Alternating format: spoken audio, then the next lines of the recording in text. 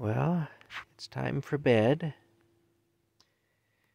I have a feeling my heater was giving off some fumes. I don't know, though. I may be I'm feeling pretty nauseous. It might be for some other reason, though, too. Anyway, I've turned it off, and I'm going to get into bed. And Rocky's already in the bed, as you can see. He's ready to go to dreamland. I have a feeling he'd probably already be dead or unconscious if it's affecting me, so probably it's nothing serious. I may just have a little dose of, of something, I don't know.